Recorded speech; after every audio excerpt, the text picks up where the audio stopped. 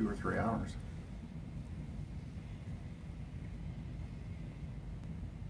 Are you videoing that? Mm-hmm.